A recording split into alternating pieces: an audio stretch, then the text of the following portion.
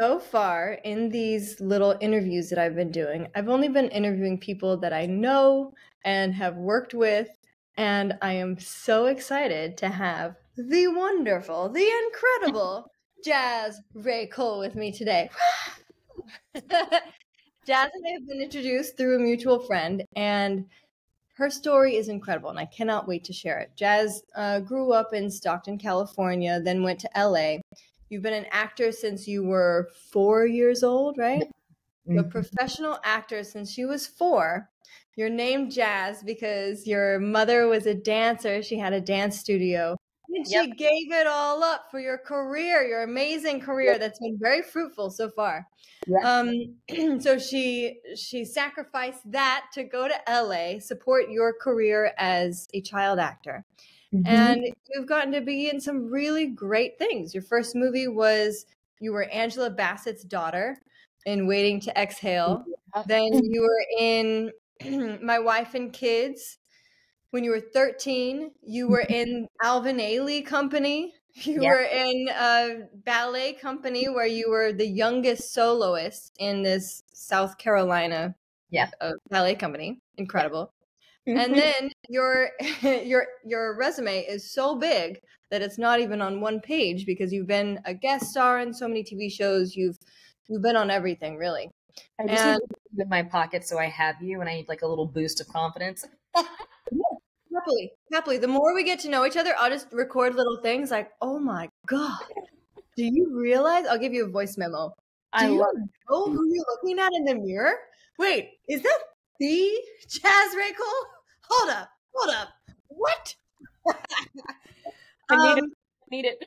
well, most importantly, you were Stanley's daughter in the office. So I love how you say most importantly. That is one of my good friends. She was so mad that I didn't tell her I was on the office. And I'm like, I don't watch it. no idea. Office is like a series. People who watch it like die for that show. Yeah. yeah. For mm-hmm. real. It's it's very important. That is one of the most important pop culture references of our time, I think. um, you you were in the quad with the wonderful Erica Michelle. Yes. And yes.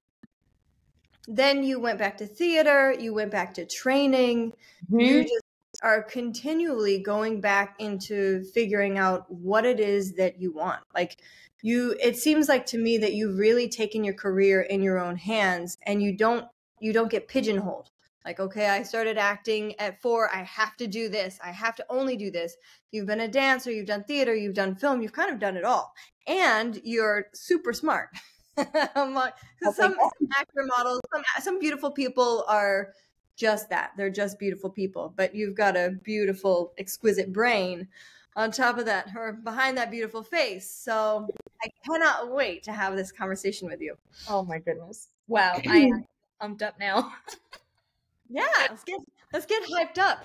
Um, so first of all, tell me a little bit about your background, how you grew up in terms of voice. So we're talking today uh, mostly about voice. We'll talk about how brilliant and amazing you are as well within that. But with voice, like were you, uh, were you from a loud family? What did people sound like, and what was it like? So I was in between Stockton, California, and LA and they're very very different. Stockton's a small little country town outside of sacramento. And when i went home it's you know my grandma had eight kids and all of their kids had kids. So it's a billion cousins and aunt and uncles and everybody is talking and loud. Um, you know that. and that's the volume of the house. And it's it's all love and you know we're playing games and everyone's screaming over who's winning and um, but then when I came here to LA, you know, I was in training. I was either in dance class, acting class, piano class, and all of that. Not to say that it's quiet, but it's much more reserved than being in Stockton, being at home. Um, mm-hmm. So I've kind of been able to kind of have the best of both worlds, I guess you could say, because we were back and forth so much. Mm-hmm. And then mm-hmm. we moved to the East Coast. Um, I think, you know, I lived in Boston, I lived in Jersey and New York and in South Carolina. And each one of those places, they communicate in very specific ways. New Yorkers, excuse my French, don't give a fuck. They're going to say what they have to say as loud as they need to say it. You know, Boston's a little mm-hmm. bit more liberal in how they communicate. South Carolina. Meaning, meaning what? Can you describe that a little? They're they not to say that they think before they speak because that's rude to say about New Yorkers, right? But if um, you know, Boston has a little bit more they're just a little bit more reserved in how mm-hmm. they choose to express their opinions, depending on where you are mm-hmm. in Boston, of course. Um and then the where South was you in Boston. I was in Cambridge. Okay. Yeah. Um, so I was at Boston Ballet. My brother was at Harvard. So we would go when I left Boston Ballet, he was still at Harvard, so we would go back a lot to Boston. And I, I love Boston. I love the East Coast in general. And then South Carolina, it's the South, you know? The South is the South. You're in the South, so you know what I mean by well, that. But, but explain it a little bit. Um, I think my experience in the South is everything is one note. Everything is they all sound and speak on the same level. Everyone's going to talk like this and every everybody's going to respond like this. That was my experience in South Carolina. It's like the normal normal the baseline is loud.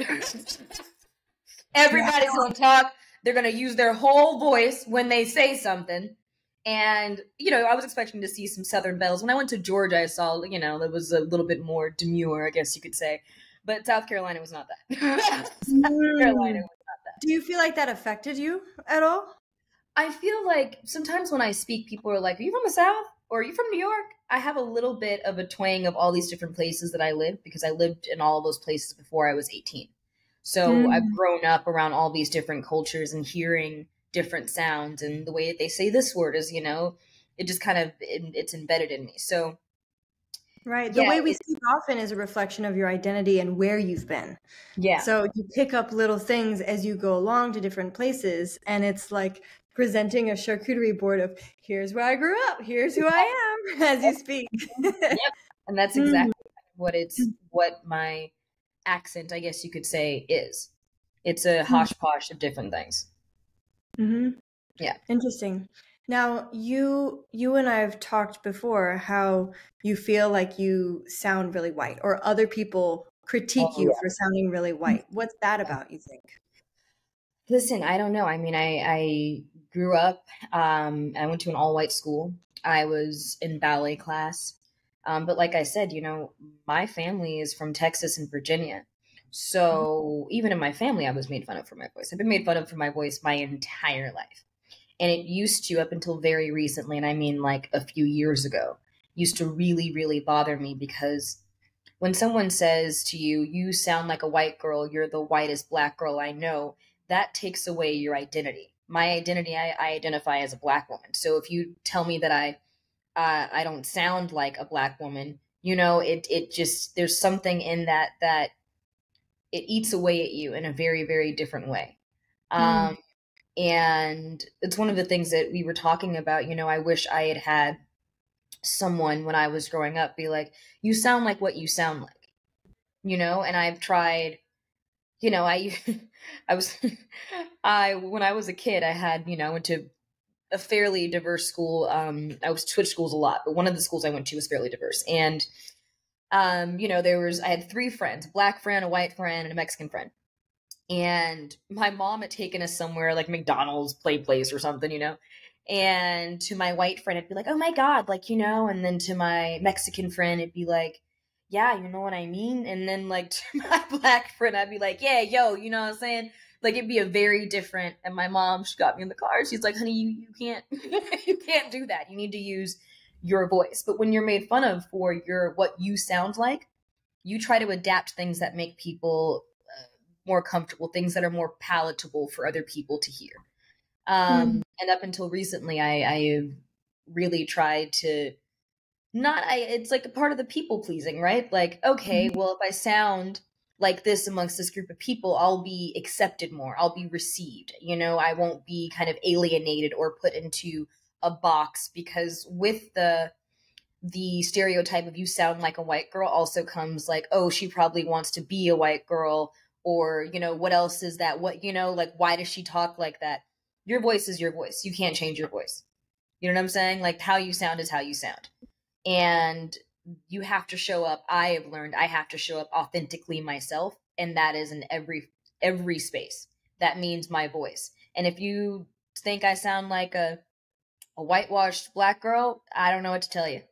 You know, like I don't know what to tell you. This is how I sound. And it's maybe a part of how uh, I grew up and the places that I was, and I, I don't know. Um, but I, that it is it is really, really, really hurt me and affected me over the years. Hmm. Uh, what really, was the really- process like of reckoning with that? If it's only happened recently in the last couple of years, what's this? What's the process been like? You know, I was in therapy and I was talking about, uh, you know, high, childhood trauma, right? Mm-hmm. And, mm-hmm. you know, I was bullied in school because I was an actor. I was bullied. You know, I would get to go away for a week and kids would be like, "Oh, she's away for a week," and when I came back, it'd be like, "You think you're better than us?" And and that was one of the things. Oh, yeah, was, you still graduated two years early. Yeah. Um, oh my god. Yeah. So you was, were you were like the the working actor who was also smarter than them, so they were acting out of jealousy. I was a very straight A student. Like I'm very type A. I loved school. I I still love to learn, um, and so I think that you know being made fun of for something that you do, which you can't, you know, yeah. you do what you do, and being made fun of for your voice because you sound different. And when I was younger, I had this like kind of squeaky, high pitched voice. It was like really high. Like you look at some of like the work I did when I was a kid, and I have the squeakiest sounding voice, and people still wait, wait, wait. Did you feel like you did, or did other people tell you that you did? Oh, other people told me this, mm-hmm. and so you know, and I'm I'm not someone who watches my work. Right. And when I was a mm-hmm. kid, like that was the last thing I was thinking about is watching what you know, right. I'm thinking about that.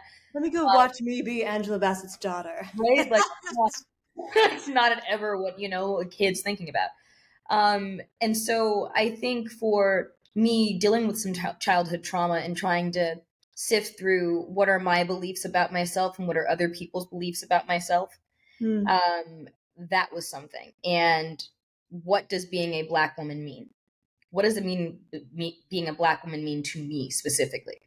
And, you know, my family is very black. My mom is very pro black. You know, she thought she was a Black Panther. She had her brown pleather jacket and her fro like Angela Davis. And you know, Black history was really, really important um, in my family. And my mom is, you know, was very adamant about me knowing our history. Mm-hmm. Um, so, what does a Black woman mean? You know, like, oh, does that mean you have to listen to Black music? You sound like a Black person. What is that? What does a Black person sound like? You know, oh, you you dress like a Black person. Like, what what does being a Black woman mean? And sifting through all that, I'm like, no, I identify as black because I appreciate my heritage, my ancestors, and the history of what black people have gone through. Mm-hmm. That I had to be grounded in knowing that, hey, I'm this is me. And there are different versions of black. There are different versions of every single culture. We don't all show up the same. That's just not a, a thing. You know, there's not one way to be Mexican. There's not one way to be black. There's not one way to be Asian. And I think the the more that we start to open ourselves up to the realization that oh, just because this was a stereotype for so long doesn't mean it needs to continue to be a stereotype. We're becoming a melting pot.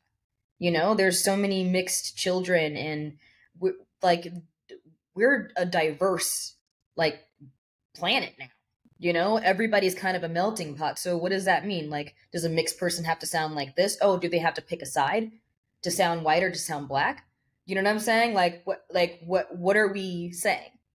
Why can't you just show up authentically yourself? Mm-hmm. And I think the sound of somebody and I'm really sensitive about that like why are we judging what someone sounds like? That is mm-hmm. one of the things that we cannot control right? Why, but why do you think we do judge how someone sounds? I I think that you know when you meet somebody, you're sizing that person up, right? Like everybody has some form of sizing that person up, and some people, you know, go a little bit step further and are judging from the second that they meet somebody. And one of the, you know, I think when you hear someone speak, it is a way for you to kind of determine, oh, the level of education just based off how they speak where they come from geographically, they come from the South, you know, like where they come from. But I think that in and of itself, okay, fine. But when it becomes like, oh, you look like this, so you should sound like that, that is, I don't understand where that comes from. I really, really don't. Um, mm-hmm. I really, really don't. It's different if someone's like, I'm trying to, I'm putting on this air to sound like this in this moment. That's a whole different thing. Um, and yes, some people do that, right? No shade, do you? But I don't know why we would judge someone based off the way that they sound. Um, that is probably one of the things, uh, like, and I, I had a conversation with my manager about it because my manager was like, you know, I'd lost a job because they're like, it's her voice. And I spent all this money doing voice coaching to kind of like lower my voice and sound different. And I think probably what the the voice thing was was I was so afraid to sound like myself because my entire life I had been told not to sound like myself. So uh. yeah, uh-huh. It's it's not yeah. Mm. And so and so the voice thing had nothing to do. It was just like, no, I'm not using the voice that I have. I am not showing up authentically myself, using a hundred percent of myself because I have been told since I was yay high that this is how I'm supposed to sound. And because I don't sound like that, I am made fun of constantly.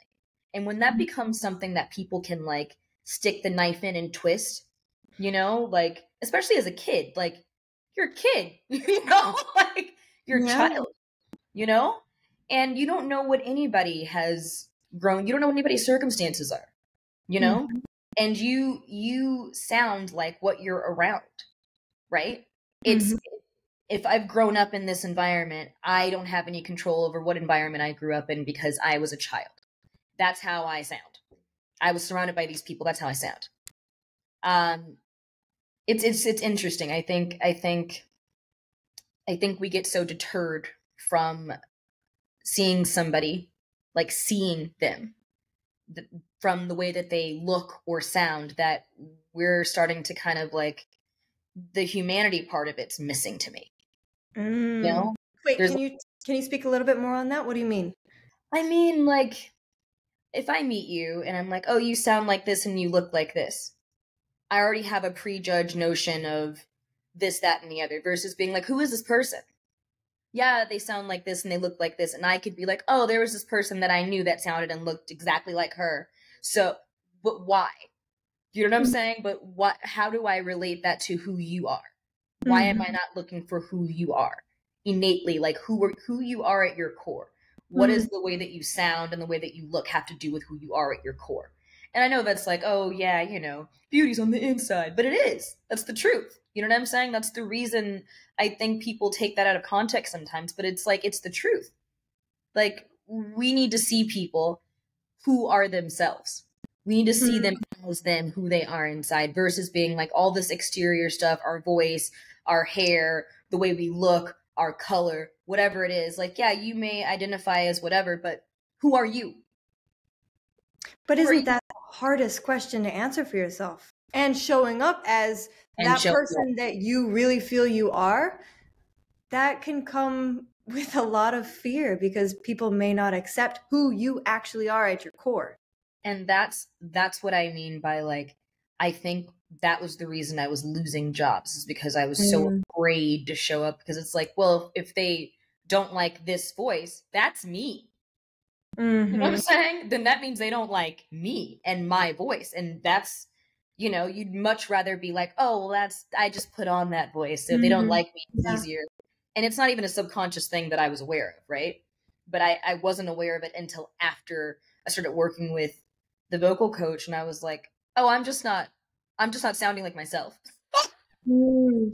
so I just don't sound like myself. There's, there's two things you can work on, right? There's there's the accent, the dialect that you're working on, and then the voice. So tell me a little bit about what you were working on with your vocal coach.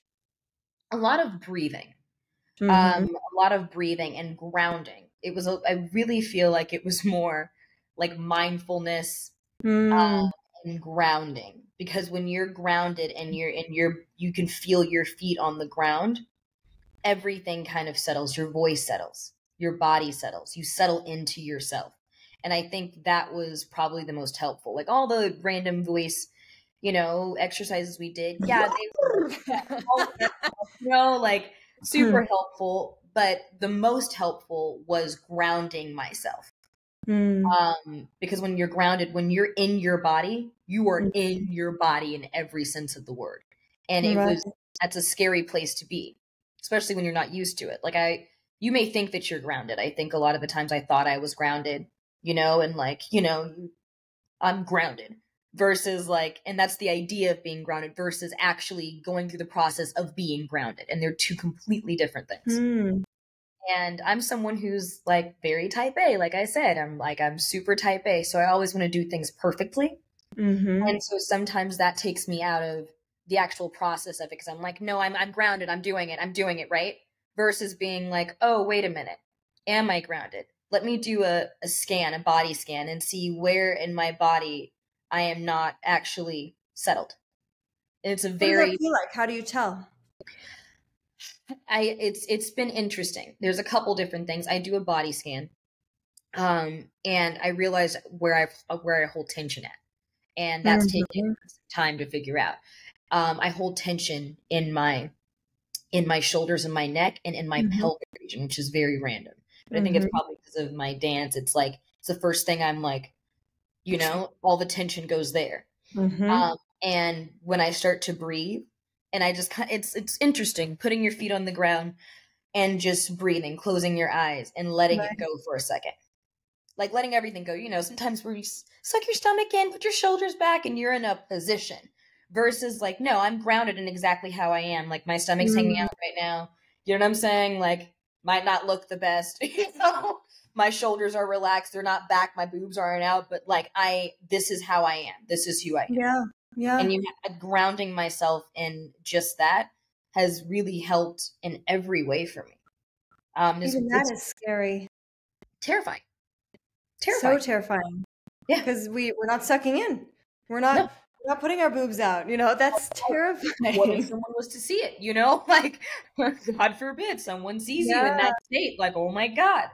And that's why you know, like, there's some people on Instagram that post you know, pictures 8 a.m., 8.01 a.m., and then, you know, it's like they're still the same body. They just took it from a different angle, you know? And it's mm. like still having the same body. Yeah, you can still do that. You know, sometimes you need to suck it in and stick your boobs out, you know, depending on what you're doing, who you're playing. Fine. But ground yourself first. Like, know who mm-hmm. you are and where you stand first. Then all the other stuff can come later. That's so amazing.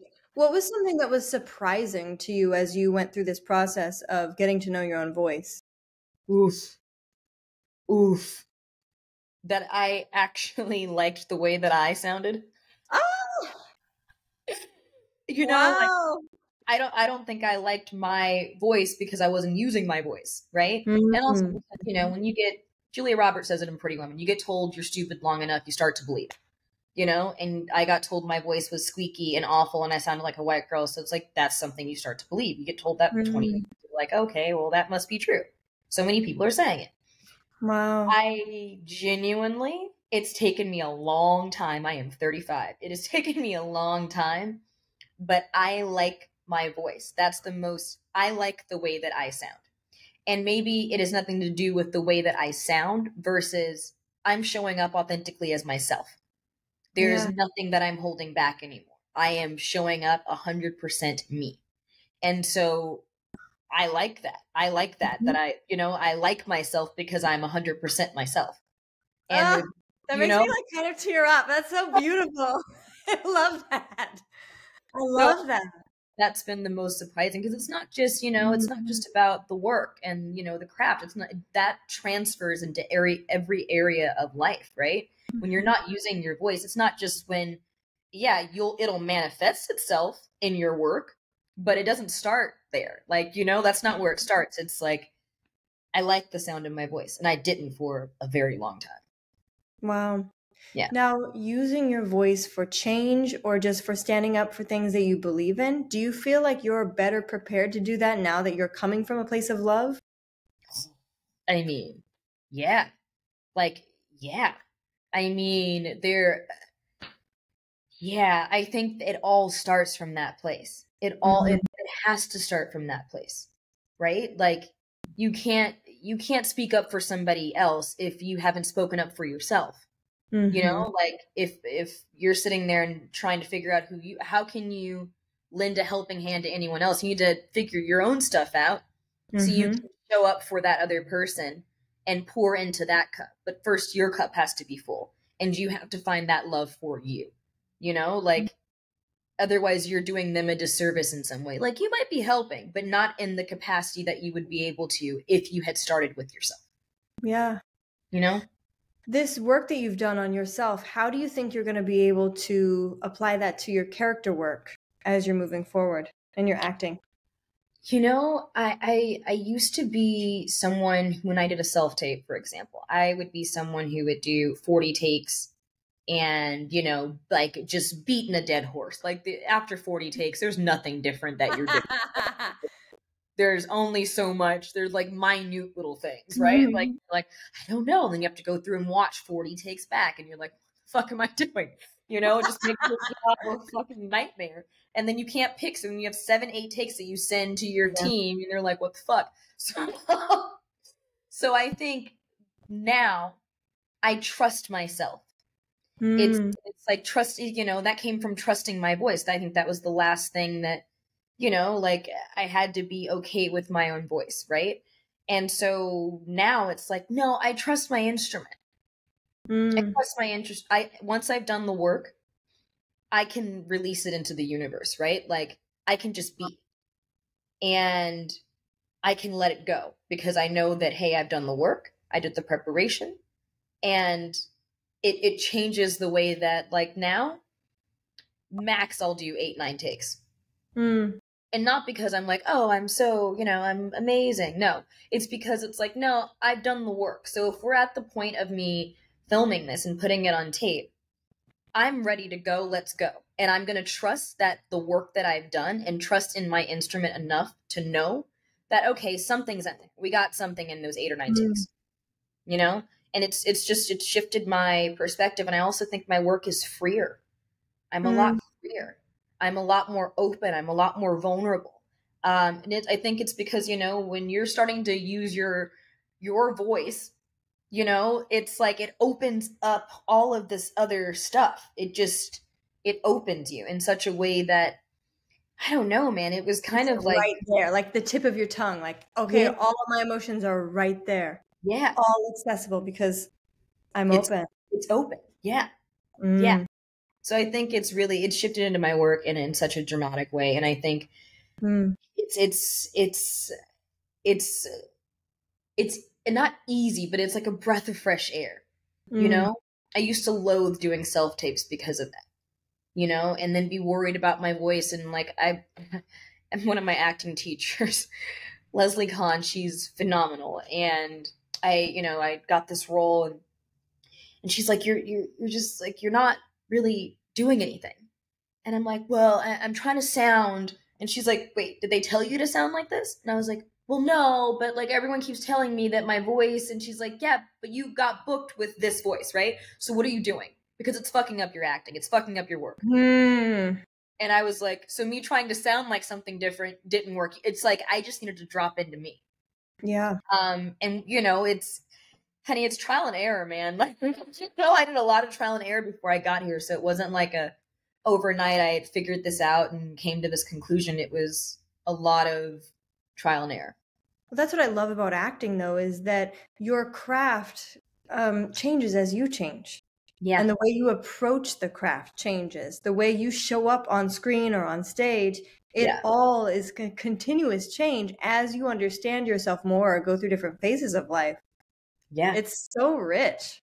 It's I, I remember mean, being in acting school doing all this inner work, really thinking about who I was, who I wanted to be, all of the things that actors think about constantly. Mm-hmm. And then mm-hmm. I would I would be like, "Wait, so the biology students are just learning biology? they're not they're not just doing they're not doing all this all these hours of lying on the floor and thinking about who they are and thinking about their breath. Like, how do they even show up to life? Like, how do you show up authentically to your own life when you don't yeah.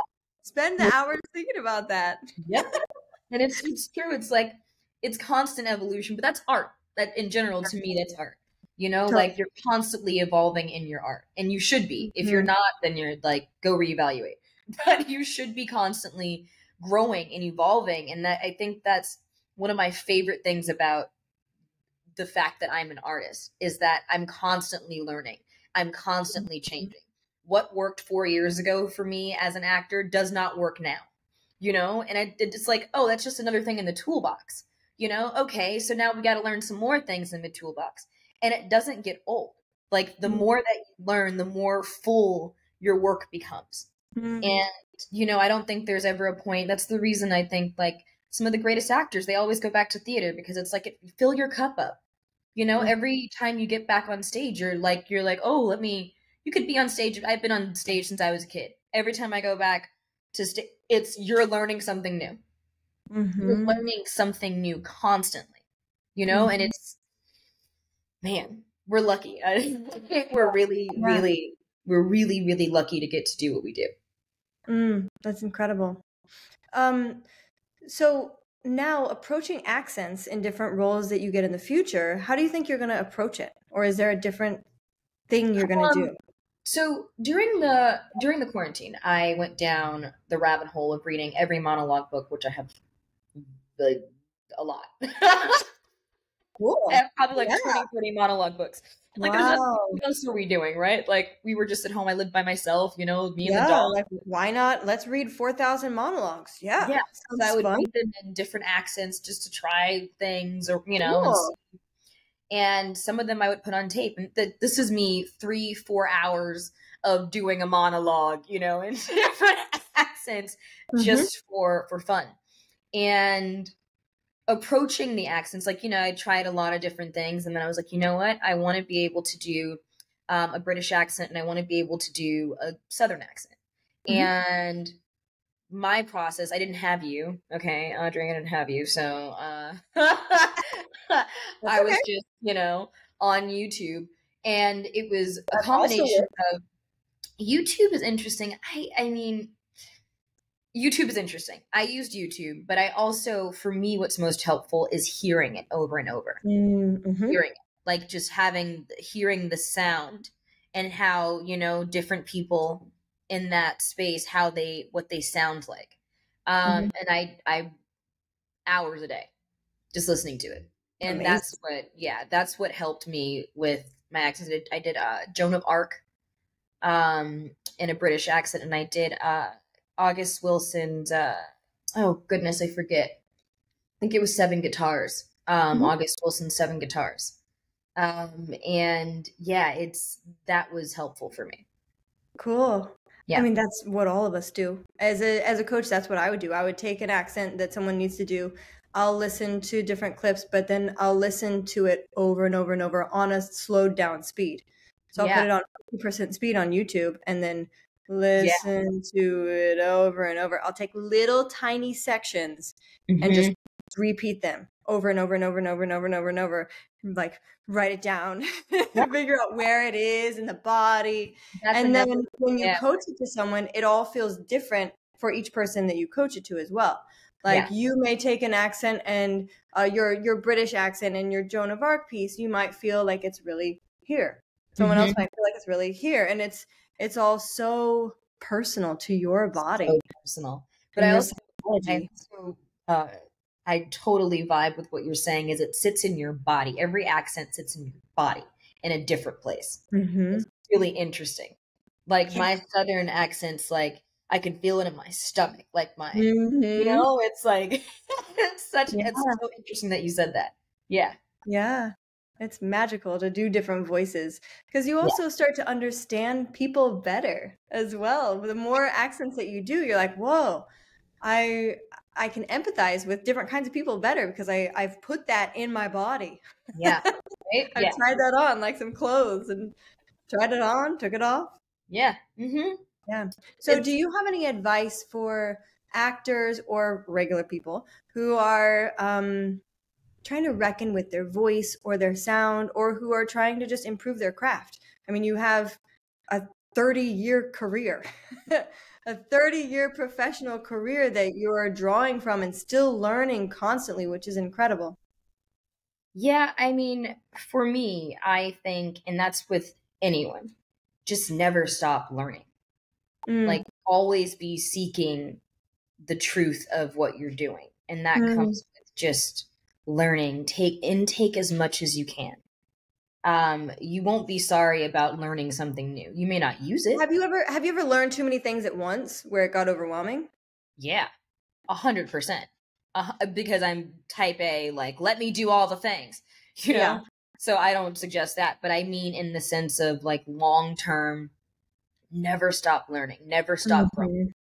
Um, I think that some people get to a place and they're like, no, I'm professional, so therefore it's like no, no, no, no. Like the the greatest artists are are always evolving, are always pushing themselves, stretching themselves, trying to learn new things. Um, and, and who is it? Lauryn Hill said it. Lauryn Hill said anything that's not growing is dead. So Mhm. the growing and the evolution of the craft, I think for me is the most important. In You're life, green and growing or ripe and rotting. that's it. Ooh, I like that. Mhm. Okay, ripe and rotting. I'm here for it. Yeah, right. Uh, yep, I like it. Um, yeah, so I think that is probably that that would be my biggest advice to anybody, like actor or not. Like, just keep growing, keep especially for actors, keep training. Like, it, the, going back into a class after you've been on set will get your especially if it's a good class will get your ass together because you're in a group of your peers you know what i'm saying and you get Mhm. told truth. On set everybody's like oh you're so great you know unless it's the director and it's like Ugh. but everybody's like oh my or god the dialect coach. right? Yeah, you know? Uh, you know but other than that you know like everyone's like they don't say anything or they're like you know ask somebody like oh no it was great. When you're in class eh, no you know what i'm saying like everybody's trying to get better everyone's paying Mhm. money to be there and it's a very different energy Mhm. and you will get your ass handed to you going back into a class after you've been on set that's my favorite thing to do at like in between it's like oh i gotta class Yeah, and the first couple classes are always scary because for me, I want the respect of my peers, right? I Yeah. want I want my peers to be like, wow, that's great work.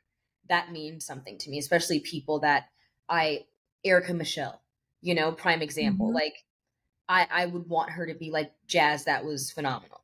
You know? Mhm. That means something to me because it's coming from someone that I respect her work, I respect who she is, I respect her work ethic in the craft. Mhm. So- getting a SAG award as well. Like, okay, these my peers voted for me.